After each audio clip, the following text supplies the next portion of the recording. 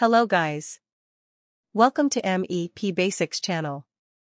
In this video, we are going learn about what is hot tapping, procedure, limitation, guidelines, standards. Before we are going to start, please subscribe us to get more update about MEP Basics. And also please join us on other social networking platforms. Now, let's start the video. Hot tapping is an alternative procedure that makes a new pipeline connection while the pipeline remains in service, flowing natural gas under pressure. The hot tap procedure involves attaching a branch connection and valve on the outside of an operating pipeline, and then cutting out the pipeline wall within the branch and removing the wall section through the valve.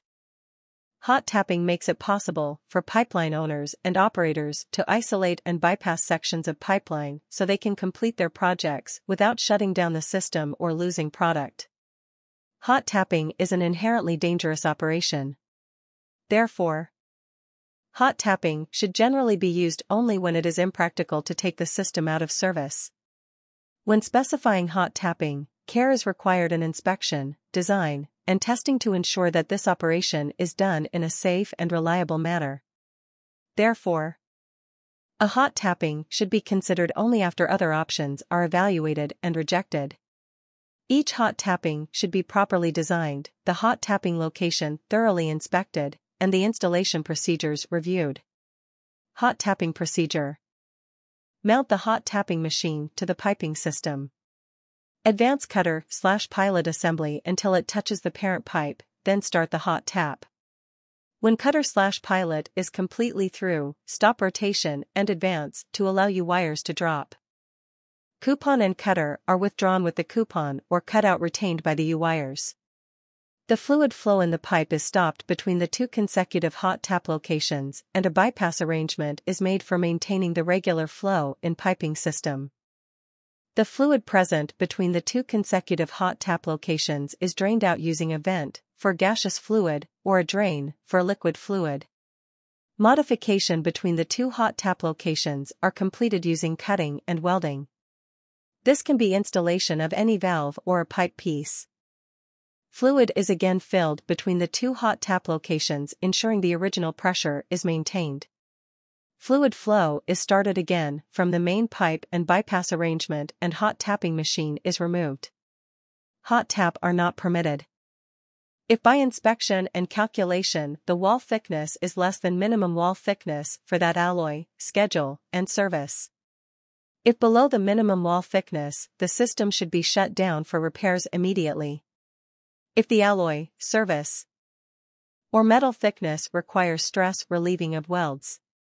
In hydrogen and hydrogen-rich, 30% or greater, services, because of tendency to leak through packing glands and potential hydrogen embrittlement of the metal. On flammable material lines containing air or oxygen because of potential detonation.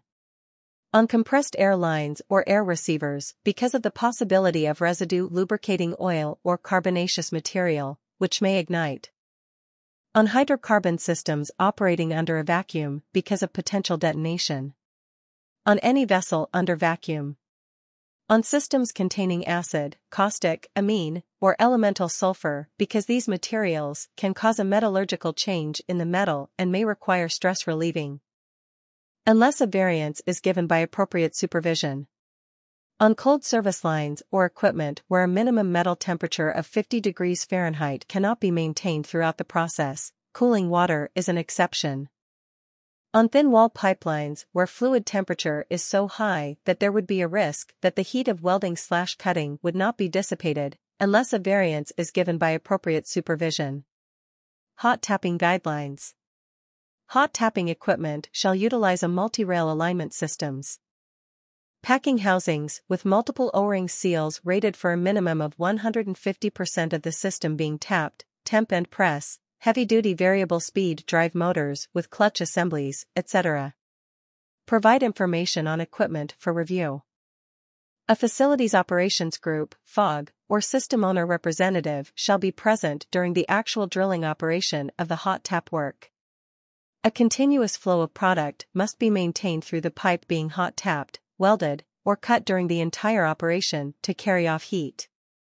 When performing hot work on the outside surface of a pipe, precautions should be in place to protect against overpressure resulting from thermal expansion of the contents. Standard cutter sizes for hot tapping. Listed below are the standard cutter sizes used when performing hot taps. This list is meant for reference only and does not reflect the actual size used on any particular hot tap. Various conditions will determine the size necessary to complete the hot tap successfully. If a certain cutter size is required, please specify that size when ordering your hot tap.